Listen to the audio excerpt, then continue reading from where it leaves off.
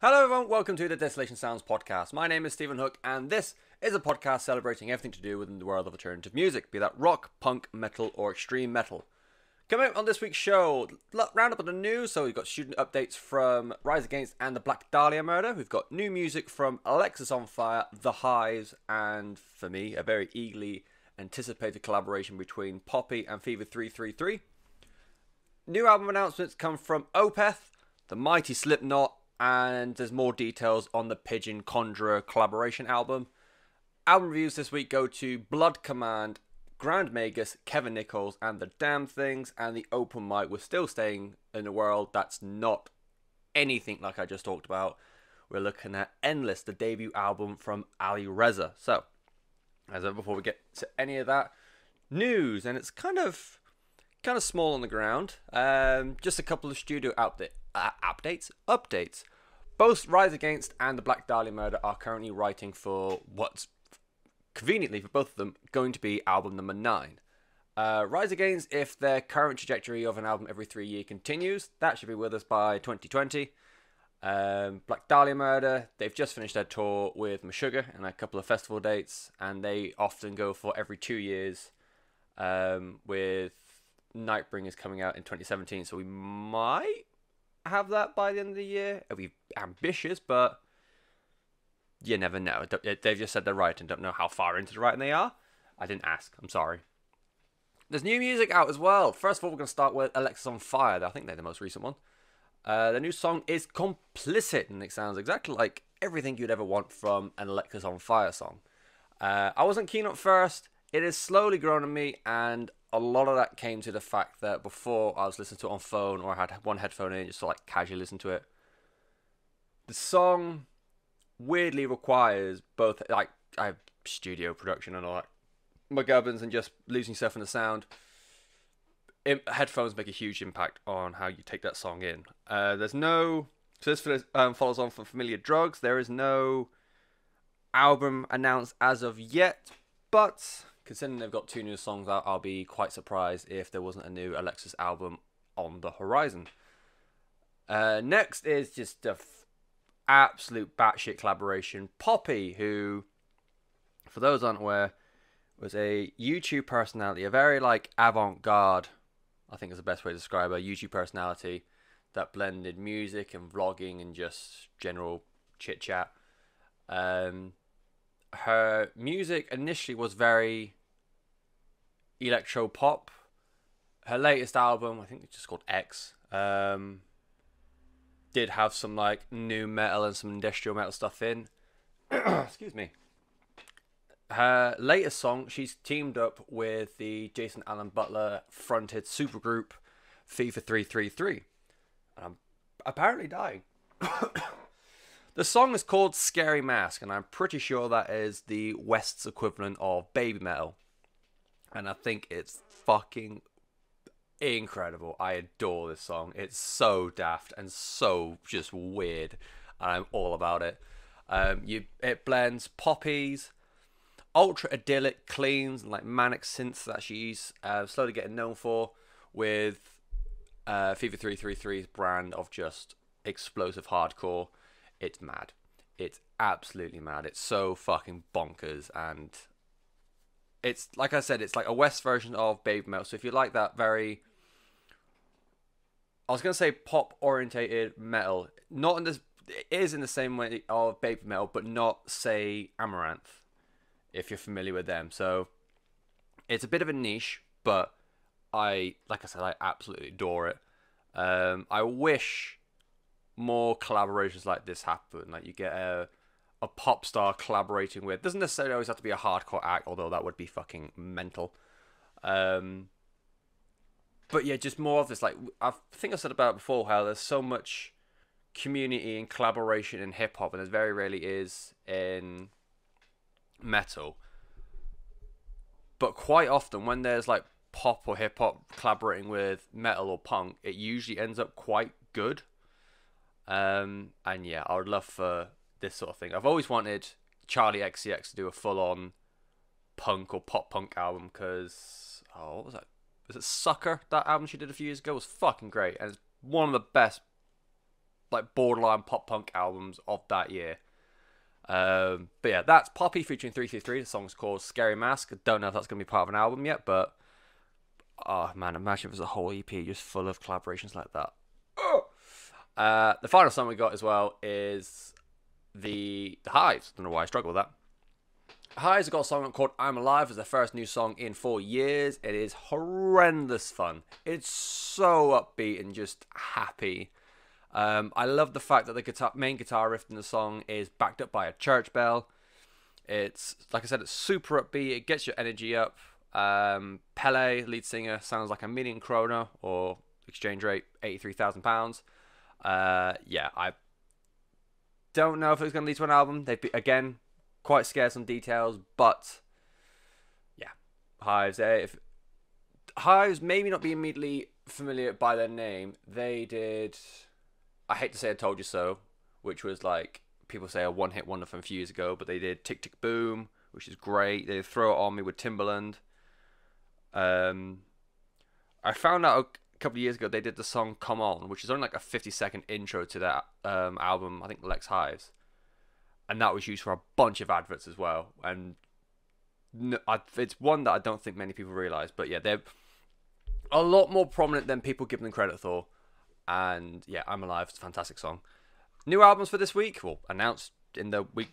Week. Oh fuck! It's been two weeks since I did a proper episode. Sorry. Uh, albums that have been really announced. Fuck me.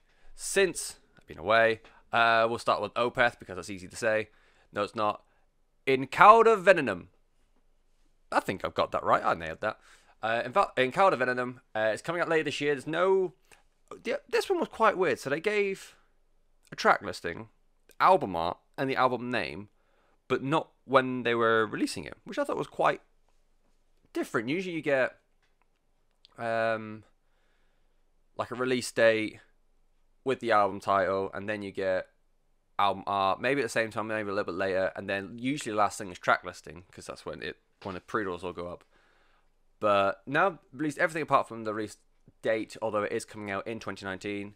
Um, this is going to be the follow up to 2016 Sorceress, and apparently, excuse me, there's going to be a version released in English and a version released with the lyrics in Swedish. So I think it'll be uh, a cool little album. I've never really gone in on Opeth. Um, they're more their older stuff is more of a greatest hits. Uh, I, God, I can't remember what songs were. You obviously Blackwater Park and a couple of songs from that there's a song from I can just see the album out in my head. It's purple. There, there. As you can tell, Opeth aren't a big thing for me. Something, something prog, but you know. The fact that they're going quite ambitious and doing both English and Swedish, that might be cool. Might work. Might, I'll be interested to find out if the Swedish one works better with like this, their version of prog. Um, but yeah, like I said, that's coming out later this year. No, not much details on it. Excuse me. Uh, Conjurer and Pigeon have released a studio video, like a behind the scenes thing for the upcoming collaboration album, Curse These Metal Hands. That's been given a date, that's coming out the 16th of August.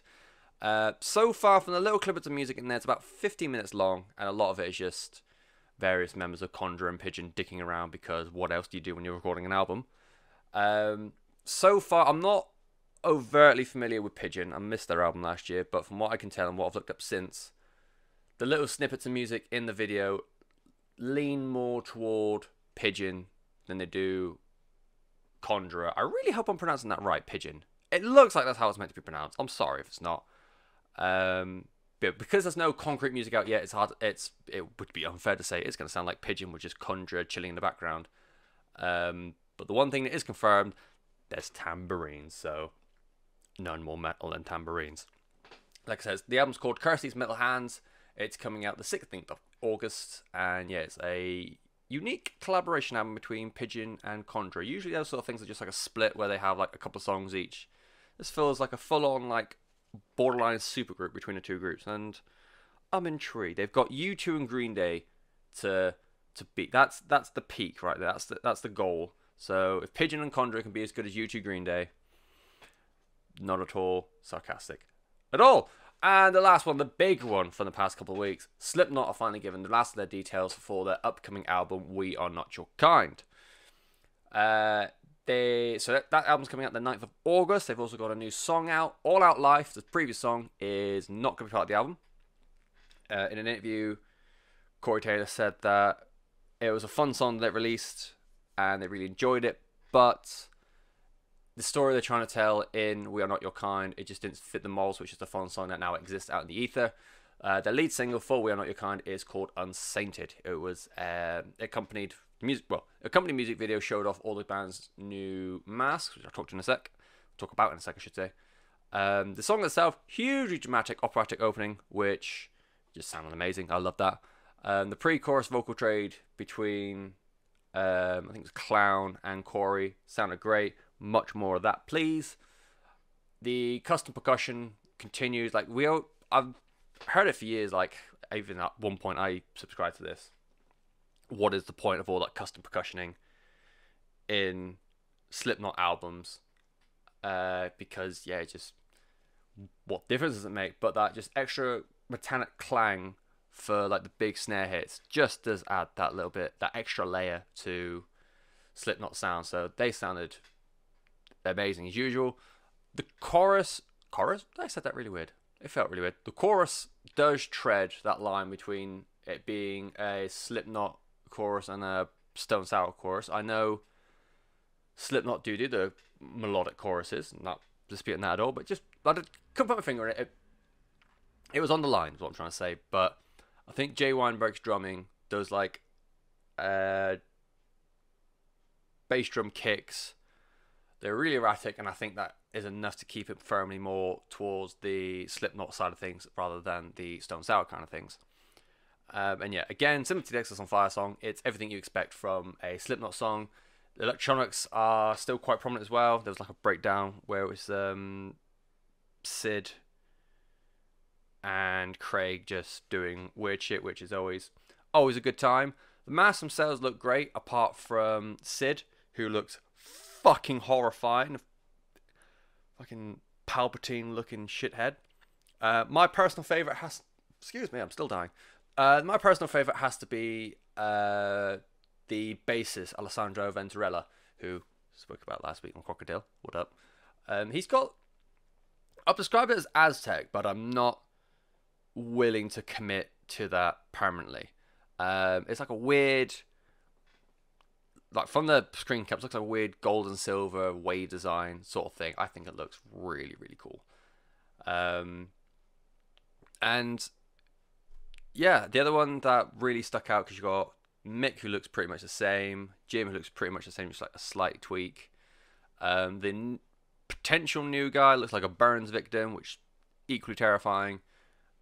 And Corey's is like the most basic, but I think that's most like ominous because you can pretty much see his face and well, because it's it's opaque, and he's got loads of, like black face paint underneath. So it's his face, but it's all smeary and like coal laden. It's, it's odd, but that's what Slipknot go for. It's becoming a thing now where the masks are just a part of the I was gonna say just part of the image, but like general ethos of Slipknot as much as their music is. So that's a new Slipknot song and album. We are not your kind. It's coming out the 9th of August. Album reviews then, we're going to start with Blood Command and their fourth EP, Return of the Arsonist. Uh, Blood Command hail from Bergen in Norway. They play a very good, very intelligent version of uh, punk rock and this technically is the follow up to 2017's Cult Drugs. Um, I remember finding Blood Command's 2012 album Funeral Beach, and I found it quite entertaining. I did my usual thing back then of getting a bunch of songs from the album, like three or four, listen to them, saying, "Oh, this is a good album," or "Oh, this is a bad album," and then usually at that point is when I say, "I'm going to go look for the whole thing and listen to it." For whatever reason, I just didn't uh, I just thought, wow, gee willikers, this is interesting, and I moved on because I'm a fucking idiot. And I did this way too often. I even did it to an extent with cult drugs. That's I, excuse me. I remember listening to cult drugs like in full a couple of times, but it was always whilst doing something else, but never really went in proper. It's on my um, catch up list, which hopefully I'll get to as part of this show at one point. But yeah, I don't think I'm going to sleep on Blood Command anymore because this EP is fucking brilliant. I cannot stop listening to it. Um, so I've had was it one, two, three, four, five releases over the past week. Um, technically, partially over two because the whole Gallows thing last week, but each and every time I'm like, okay, gotta go through Grand Magus, gotta go through Kevin Nichols. I would always listen to at least two songs from this first and then go on to whatever I was meant to be doing. I am almost angry because I've like glossed over Funeral Beach and Cult Drugs as much as I have. I can't sit here and talk about how it fits in with like the Blood Command lore and how it compares to the rest of their back catalogue and give it like a proper sophisticated review other than just going just fuck. Like it's so good this. Um from the opening like sci-fi-esque synths on don't strike a match use a lighter to the last rung out note of afraid of water return of the arsonist just keeps you in the zone non-stop. It is just I keep. This is what I mean. I didn't want to just go. It's just this. It's just just. I want to have something pure, something worth it, worthy of an album uh, EP this good. Um, like the you can windmill, windmill, windmill your entire body asunder, or you can put your head through a wall, or you can just have like a drunken impromptu gang chant karaoke to any one of these songs. It's just over 10 minutes of some of the funnest music you'll ever experience.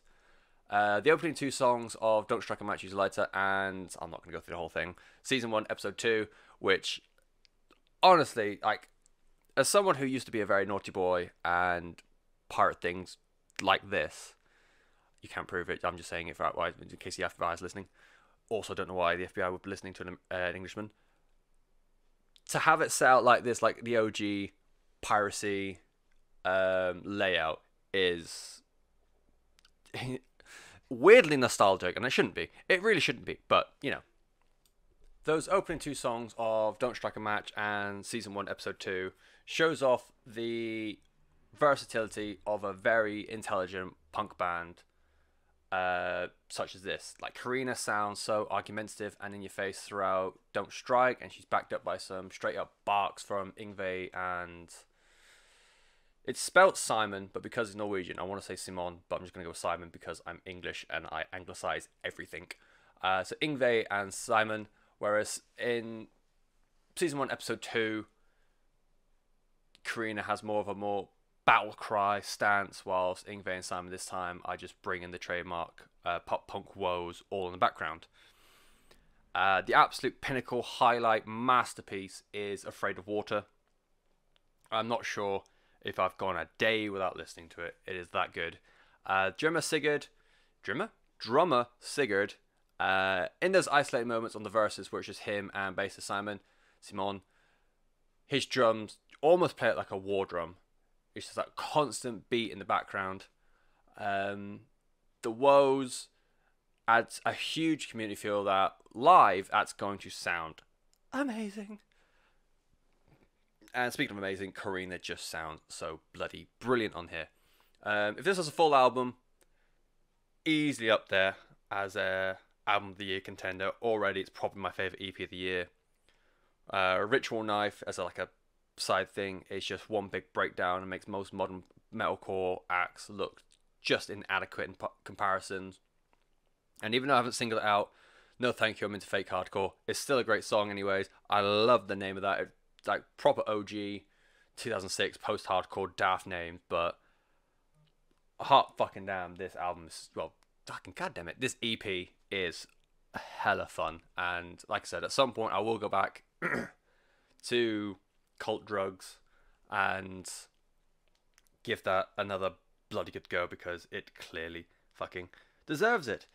If you want to go for this, you'll like it if you are, well, you like it if you like music, but if you want to be specific, uh, go for it if you're a fan of The Bronx, Marmozets, and Your Demise. I think Your Demise is the one that's a bit more out there, but definitely more Marmozets and The Bronx. Uh, the EP is called Return of the Arsonist. They are it is by I should say the Norwegian punk outfit Blood Command. It is out now. Go and buy it. It's dirt cheap on Bandcamp. That's where I got it, and it's fucking great. Honestly, it's just so good. On to album number two then. Uh, the album's called Wolf God. It is by Grand Magus, the Stockholm based epic traditional heavy metal giants. Uh, they hail from. Did I say they hail from Stockholm? I'm going to say it now. They hail from Stockholm in Sweden. It's going to be album number nine. Grand Magus have always been one of those bands that for years no one's really had a bad thing to say about them. Um, I remember personally first hearing about them around 2010, 2011 when a I had a copy of Metal Hammer that listed the top 20 albums of pretty much every genre of metal and rock that was going at the time, uh, including like trad metal. Uh, and on there was 2008's Iron Will, which even listed on there above or like in lieu of Hammer of the North, which would have come out the same sort of time as that article. And similar to sort of thing to Blood Command, only in like a no pun intended, a grander scale. My naivety got in the way again. Um, and since then, I've kind of kept them as like a greatest hits kind of thing. Um, I kept a couple of songs from Iron Will, and I think there's a one or two from Triumph Power. But I've always been aware, but never really going all the way in when it comes to Grand Magus.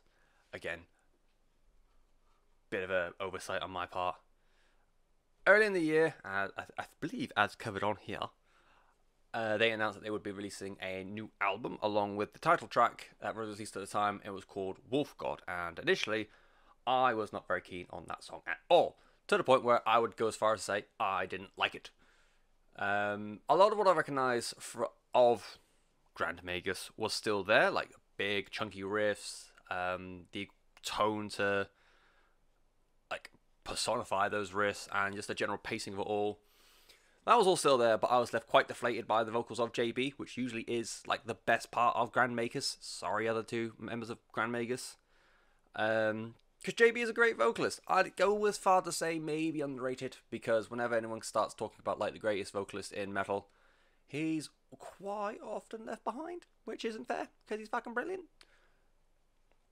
But one of the things that drew me into uh, Grand Magus is their knack for making JB's vocal lines sound that much more dramatic. Whether it's him on his own hitting those really big bombastic notes, or bassist Matt's backing him up to give him a more rounded sound. Uh, Grand Magus, especially on choruses, sound fucking huge. And Grand Wolf God just didn't really have that. It always sounded quite bored on the chorus, dare I say. And I, based on that, I was I was planning just to overlook the album entirely, but I thought, no, given this sort of platform I have now, fucking go in. What's the worst that could happen? And if I'm honest, I'm quite glad I did because the title track is the exception. The rest of the album does have those big vocal hooks in spades. Uh, Spear Thrower and Brother of the Storm have are the ones where got JB predominantly on his own for the choruses, and then the rest of the album usually has uh, backing vocals or synths to really bring home that drama in the performance.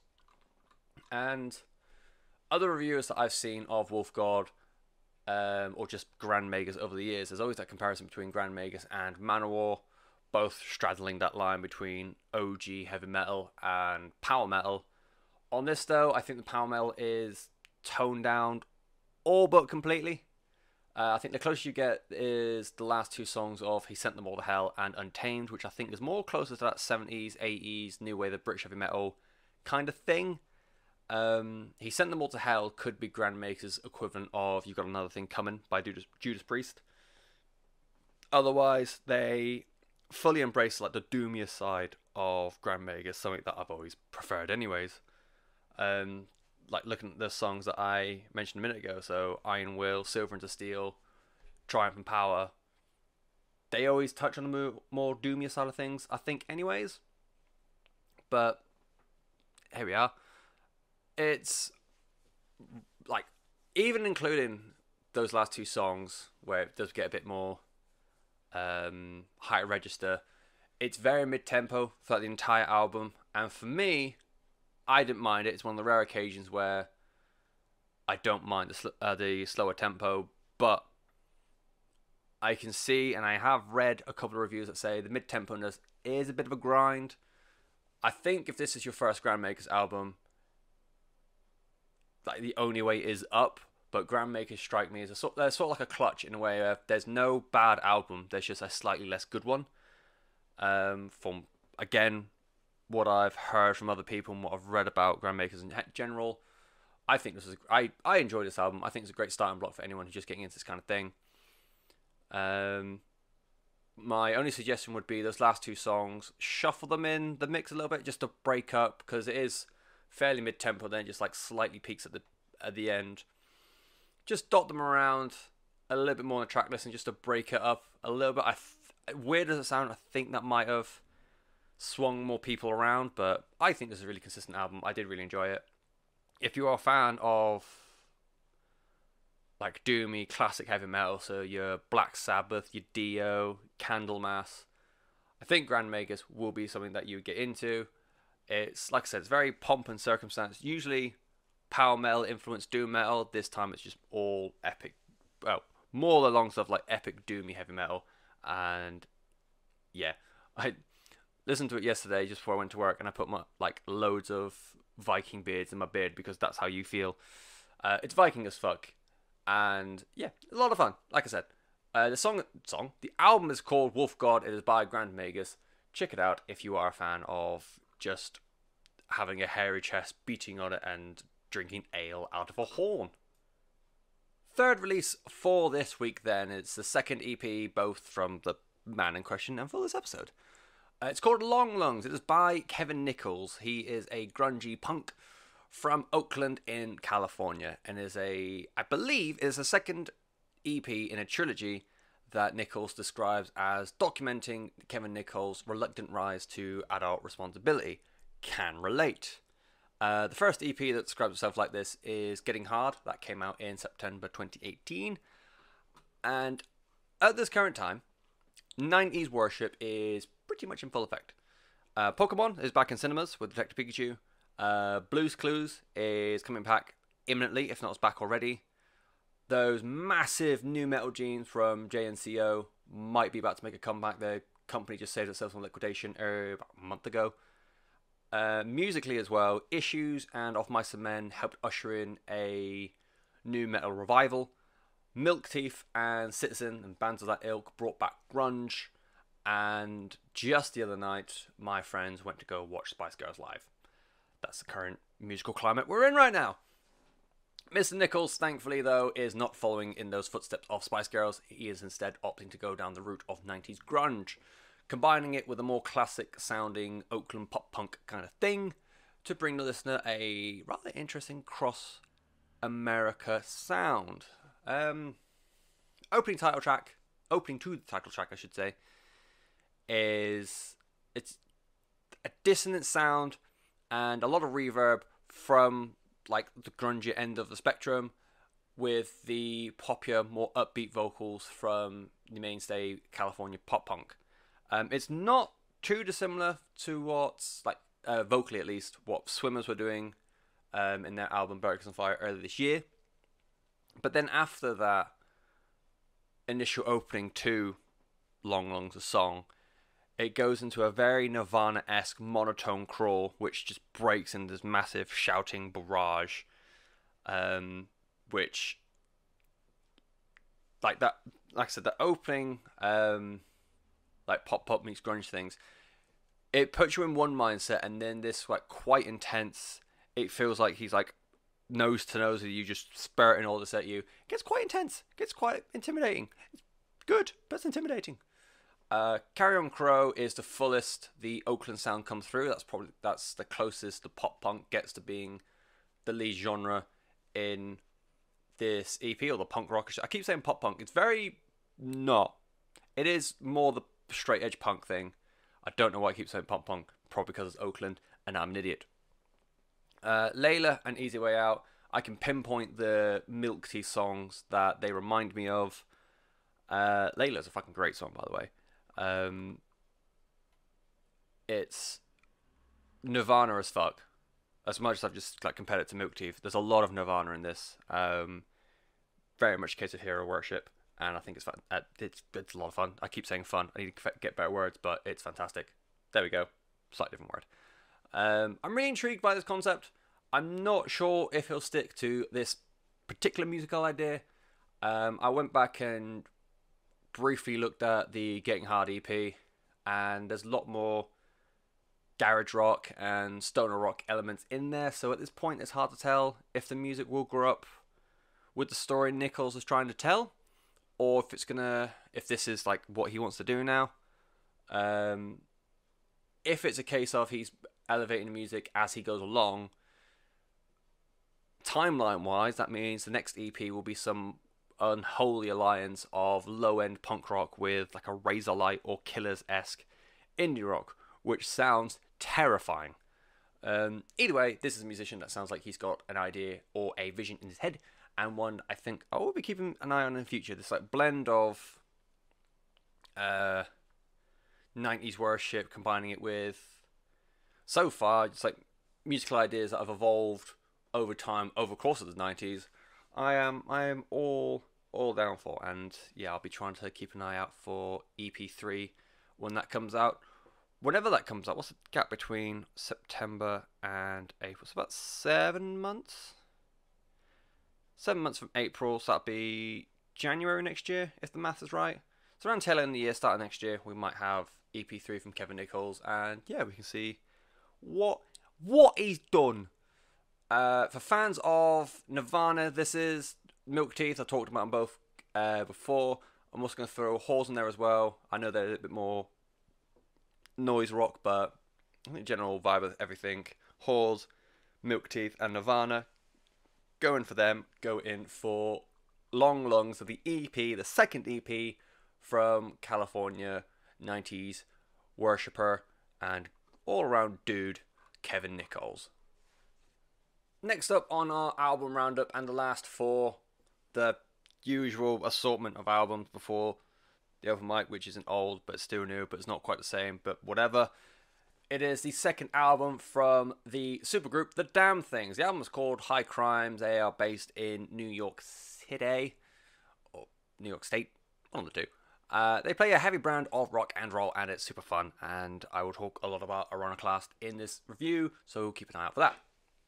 Uh, the Damned Things, if you are unaware, they it, well, it is comprised of members of Anthrax, Every Time I Die, Fall Out Boy, and now with the inclusion of Dan Andriano, Alkaline Trio.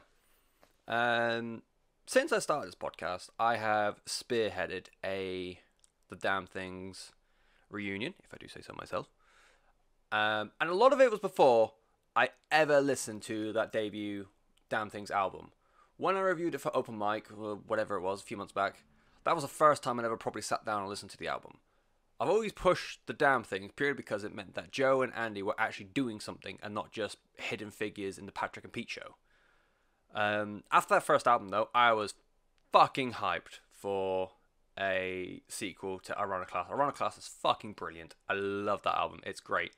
Massive party rock tunes that sound like everyone involved is just having a good time. Uh, with High Crimes, it all started with that lead single Cells, which got a pretty lukewarm reception. Um, and listening to Iconoclast, I kind of get it, but for every bit as good as the debut is, that shouldn't be taken away from how good or otherwise Cells is, if that makes sense. Basically, what I'm trying to say is, I think if this was album number one, everyone would be going nuts for Cells, but because of the high standard Iconoclast set, everyone was like, ah, it's a good, but it's not quite that good, or um, we've got a situation good. I have to really think about that then. Um, but I really enjoyed Cells. I thought it was a cracking song. Uh, Keith sounds phenomenal as always. Dan is given the opportunity to show off what he can do for the band going forward.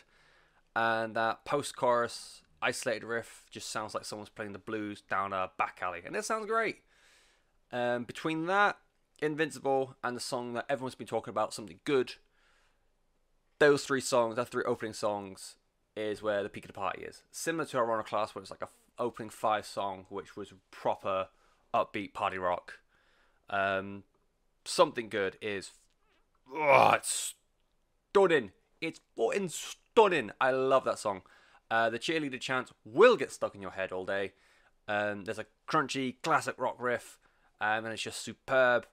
And party is where the cowbell lives, and cowbell is all over this song. It's brilliant. It's lovely. I love that song. Invincible. uh, It's it's good. It's not quite something good, good, but it is just full of indulgence. It teases a dip into glam rock territory.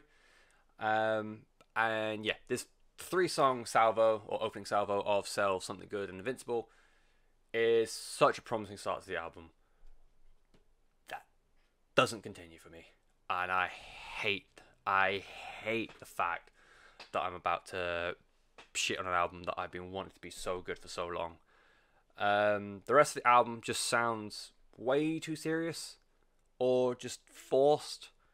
Uh, Carry a Brick has this frenetic energy that doesn't really sound like it's going anywhere. It's trying to cram a little bit of personality from every member of the band in, which I don't think works. Uh, Storm Chaser and Keep Crawling are quite doomy and stonery, which admittedly they're two genres I don't usually go in for. I happily admit that I have just reviewed Grand Magus as well, but for me the only thing that saves them is their choruses. Uh, Keep Crawling more than Storm Chaser. Keep Crawling, the chorus on that is just, I must admit, as much as I'm not a fan of this album, Keep Crawling is a fucking good song. Or chorus, I should say. Uh, but Let Me Be Your Girl does bring a lot of the icon- Ironiclast esque fun back, but for me, too much of this song, or too much of this album, I should say, and too much of what I like about it is just little bits. Little bits here and there, like the the chorus of Keep Crawling, those open three songs. Um, I actually think Let Me Be Your Girl is a little bit too too late in counting into the album. Um, yeah, it's little bits here and there that I enjoy, and not just like full the full piece like I did with Ironiclast. Um, but for what the Damned Things is intended to stand for, um, a sort of like rebellion against everyone's main project. I think this is a fine job. It sounds nothing like what anyone's doing, and you know, I'm sure they are having a whale of a time, but it just doesn't come through in the same way as that first album did. As a piece of music to be consumed independently, I find it quite lacking at times, and I do switch off a bit. And it kills me to say because I, even I know I've been hounding for a new album for such a long time, and I give shit to Fall Out Boy on a near weekly basis because I held onto the hope of this album one day coming out, and now it's here, I've just it's all been for naught. Well, no, because I'll still shit on Fall Out Boy, but I wanted to be able to say. Well, I can still say Joe and Andy are still great musicians, but I just it hasn't done it for me, and I'm very, excuse me, very very upset. Um, going for this album because the one thing, reason, one of the reasons why I do the for fans off part, especially for like even like well, sorry, especially for the like minor bands or like the non uber mainstream bands that casual metal fans or rock fans might be aware of, is because um, reviews like this and on websites and on podcasts and actual professionals who do this they'll shit on an album or love an album, but they won't give context to what it is, especially if it's a new act. Um, like I've not been happy about uh, High Crimes, but I'd say if you're a fan of He Is Legend, if you're a fan of Maylene and Sons of Disaster, or if you're a fan of Poppy, still give it a go anyways, because it's quite easy that although I haven't been a fan of the album, if you are a fan of those three bands or any of those three bands, there might be a good chance that you will still go for this album anyways. So, Poppy, Alien Sons of Disaster, and He Is Legend. Go for any of them. Go for High Crimes. It's the second album from the supergroup The Damned Things.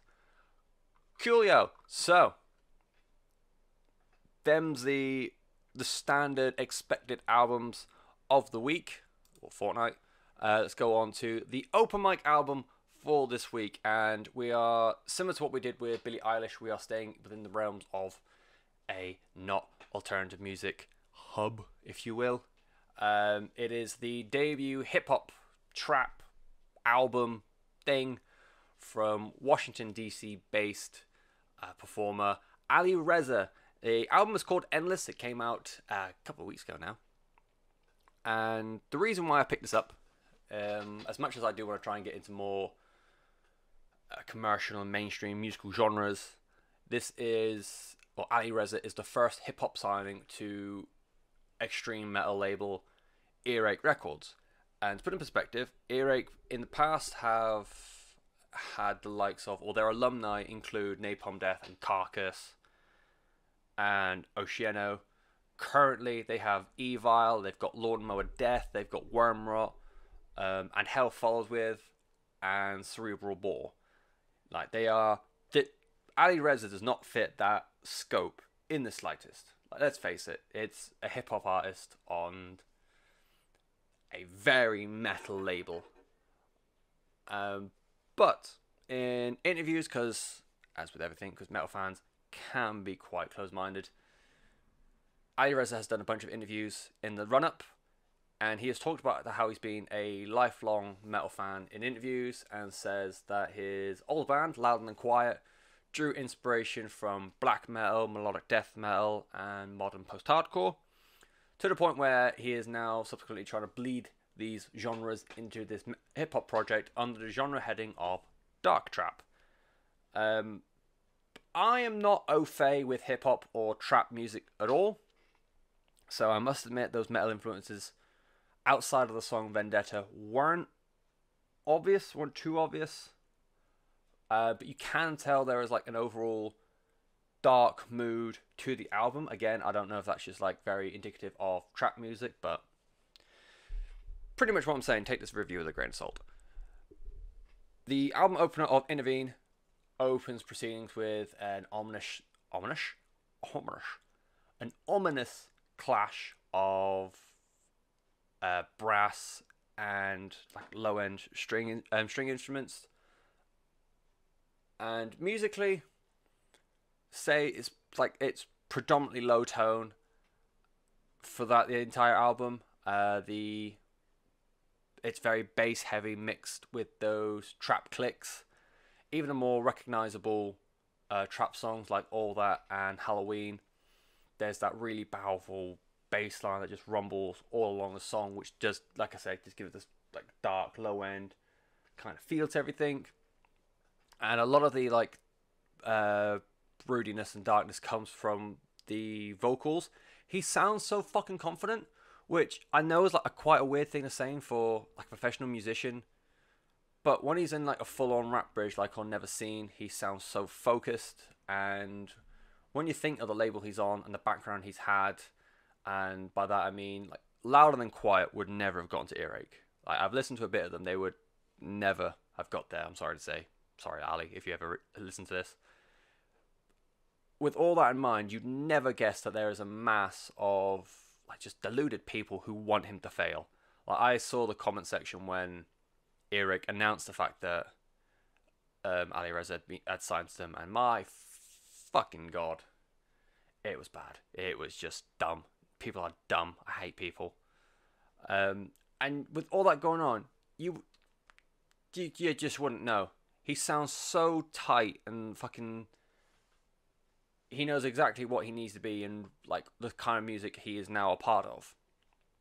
The R&B breaks in Halloween, I guess you can kind of compare them to like the melodic vocal breaks in say metalcore or deathcore. He sounds perfectly natural in the moment. Uh, throughout the album, particularly on the song Doomed, there is there are parts where either Ali or a backing singer breaks into almost like a hardcore yelp, um, and it adds that like suspenseful drama to, like I said, an otherwise quite dark, broody kind of album, anyways. Um, the other like rock metal influences on the band, the go-to song for anything like that, like I said before, is Vendetta.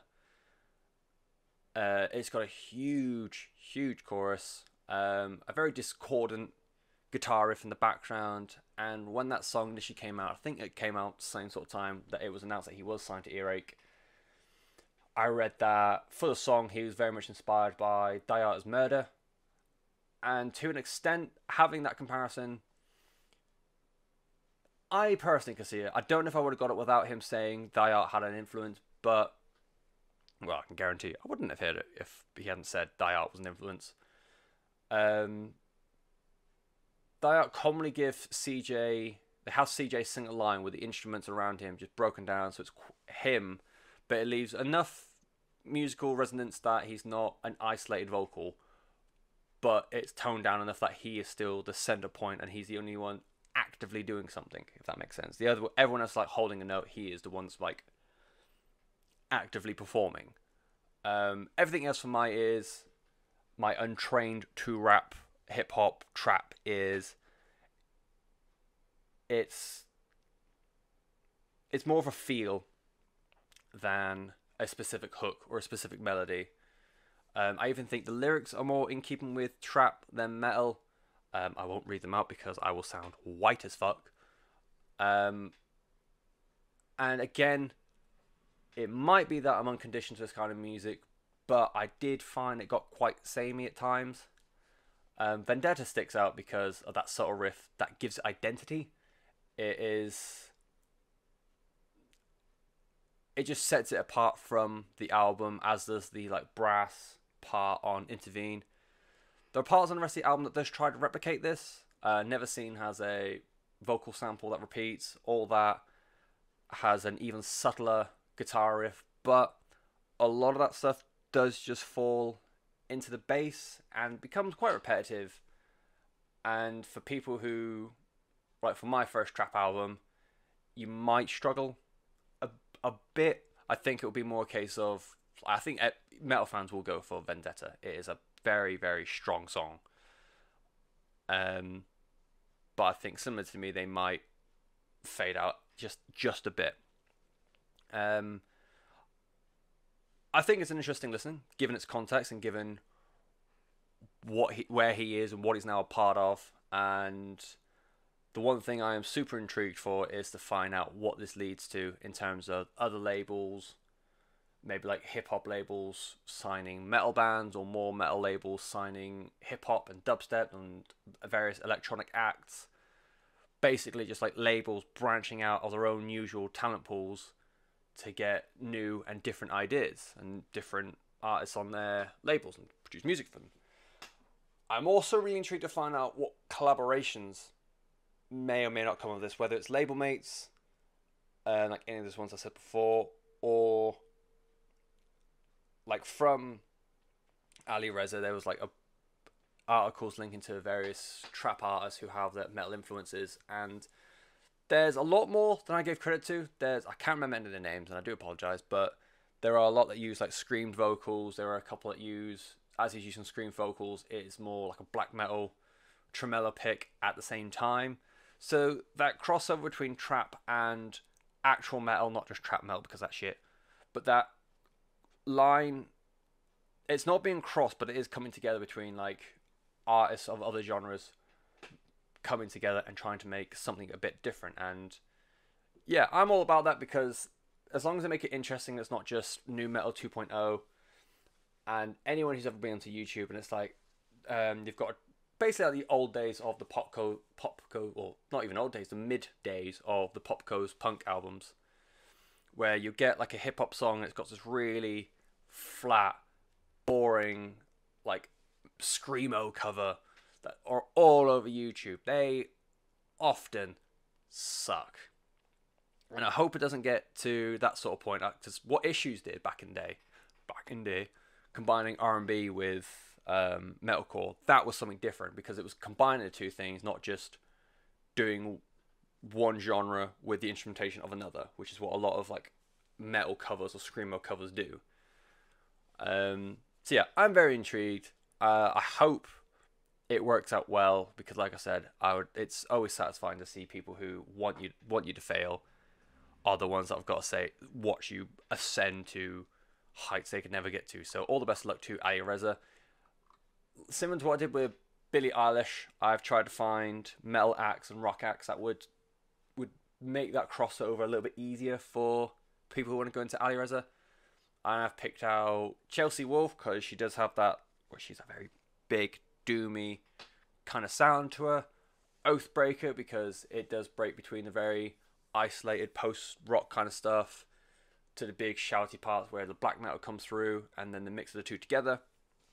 And being as an ocean as well, similar sort of things, but obviously less more refined and more within the hardcore hemisphere. So, and that latest album has a lot more of the low end, more ambient parts as well, which I think cross over well for Endlyss. So, Chelsea Wolfe, Oathbreaker, Being as an Ocean. If you are a metal fan and want to give this a go, look for them or consider yourself a fan of them. Maybe go for this. It is called Endlyss. It is his debut album from Alireza, hailing from Washington DC, and is a blend of, or it's a heavy metal and death metal inspired version of trap music, the way he's labeling dark trap. And that will be everything for this week. Uh, next week we're going we're going I was going to say underground, but that's not quite right. We're going for like, we're going for the little guys. We're going for the underdogs. Uh, so I'll be looking at Bat, which is a blackened punk and roll thing, and their album Ecstasy. Fracture, which is a German alt rock tinged uh, punk rock band.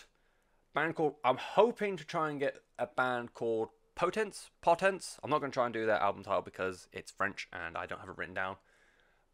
And if memory serves, that is a very hardcore, post-hardcore, which sounds daft, but that's what I can do at the moment.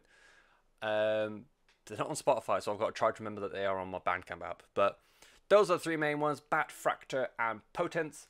Uh, the album club will be a big name, so I'm not going to tell you it just in case I can't get to it. But I'm gonna I'm gonna keep it a secret, be vague as shit. Um, so that's all coming up next week. Feel free to go find me on various social medias at Desolation Pod. And I think I've run out of things to say. So hope y'all have a lovely week. I will see you sometime in the next. And yeah, bye.